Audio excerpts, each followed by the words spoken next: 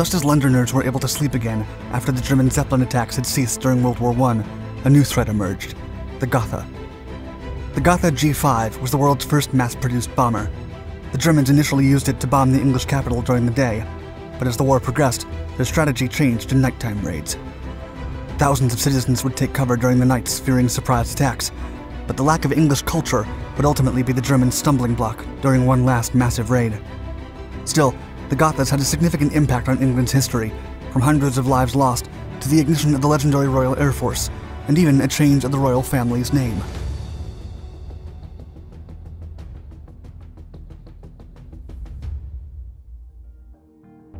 A new type of war.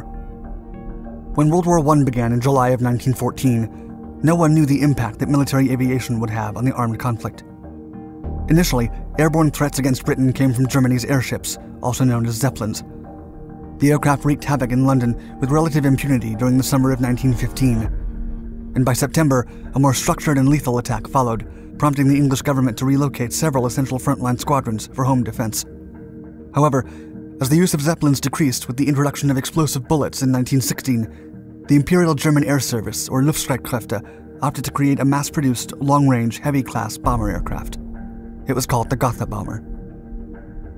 The Kaiser's secret weapon. Developed by the Gotha Wagenfabrik manufacturer, the Gotha bomber was a two engine biplane design made out of a steel skeleton, wood framings, and fabric skin. This aircraft was built in complete secrecy to keep English intelligence from finding out about Germany's secret weapon. As bomber aircraft technology was relatively new at the time, the biplane had several innovations that had never been seen before. By 1917, no bomber could house more than two 112 pound bombs. However, the Gotha was capable of carrying over 10 times that amount and could drop its payload with high accuracy due to a high tech Goerz bomb sight. The Gotha had a capacity for three crew members the forward gunner, a pilot, and a rear gunner. It also had a standard armament of up to three 7.92mm Parabellum MG 14 series machine guns and an external ordnance of 1,500 pounds. The biplane had a running length of 40 feet, a wingspan of 77 feet, and a resting height of 14 feet. Two Mercedes inline piston engines supplied the power, each with a deliverance of 260 horsepower. The motors helped the aircraft achieve a top speed of 87 miles per hour and a service ceiling of up to 21,300 feet. The aircraft completed its maiden flight in 1917 and officially entered operational service in the following months. In addition, a new squadron was created to take these biplanes into war in England from their airbase in Belgium. The Battle Squadron 3 of the Army High Command, or Kagohl 3, was unofficially known as the England Geschwader, or England Squadron. The Imperial German Army chose former infantry officer Hauptmann Ernst Brandenburg to command it. He would need to start from scratch, as there were no guidelines for overseas bombing squadrons at the time a surprise from the skies. By May of 1917, Brandenburg was ready for his first surprise attack. Because Zeppelin raids had stopped in October of 1916, the British authorities were convinced that German aerial threats against the capital were over and thus downgraded their defenses. On June 13th, a surprise formation of 14 Gothas left their Belgian airbase and attacked London. At 11:24 a.m., the first anti-aircraft gun opened fire from Essex, but it was too late and the authorities had no choice but to watch as the formation bore down on the capital. The noise coming from the biplanes was incredibly loud, and many of the citizens cheered enthusiastically as they believed the aircraft were British. The England Geschwader dropped a total of 118 high explosive bombs on the capital, and 60% of them landed within one mile of Liverpool Street Station. The attack claimed the lives of 162 citizens and injured hundreds more, the highest toll from a single raid on the United Kingdom since the beginning of World War I. Countermeasures Upon successfully completing the mission, Brandenburg was summoned back to Germany to be awarded the country's highest military order, the Pour le Mérite. However, Brandenburg's joy was short lived. On his way back to Belgium, his aircraft crashed and he lost one leg. Captain Hauptmann Rudolf Kleine was then appointed as commander of Kagohl 3, but he was not liked by the troops. Back in England, authorities struggled to come up with a plan to withstand these modern and lethal biplane super bombers. The British sent almost 100 aircraft to the skies on July 7th, but most were old and no match for the Gothas, which could fly miles higher than their English counterparts. The defense also lacked direction and coordination. Angered by the ease with which the Gothas attacked the capital, the enraged British population turned against immigrants. With this in mind, King George V officially changed the name of the royal family from Saxe Coburg Gotha to the more British sounding Windsor. The War Cabinet then formed a new committee to reform home defense and aerial strategies, with former guerrilla leader turned Lieutenant General Jan Christian Smuts as the commander. Smuts presented his ideas within a week. His report led to the creation of a London air defense area, which brought together the Royal Flying Corps squadrons, searchlights, anti aircraft machinery, and observation corps. The Royal Naval Air Service and the Royal Flying Corps also joined forces to create a single air service, which would become the basis for the Royal Air Force. It was officially established on April 1, 1918. The British prepared for daylight raids, but they didn't know the Germans had changed their strategy after several losses while raiding coastal towns during the summer. General Kleine decided to switch to night bombings, and the English would be surprised once again.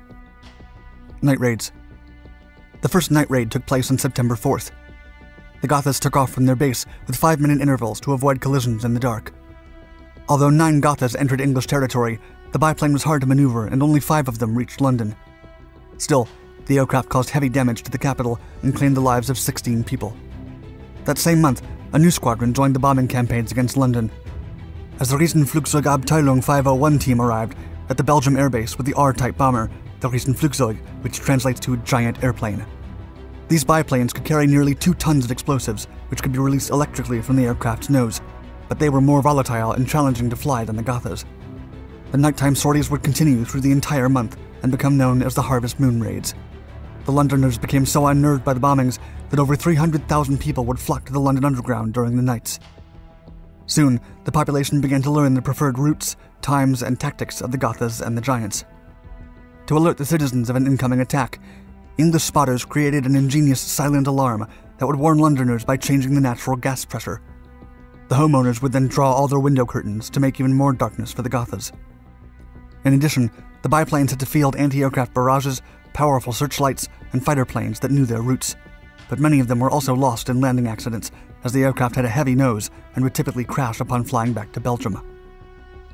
One last raid. England Flieger soldiers got a big surprise when Brandenburg returned to the airfield in January of 1918.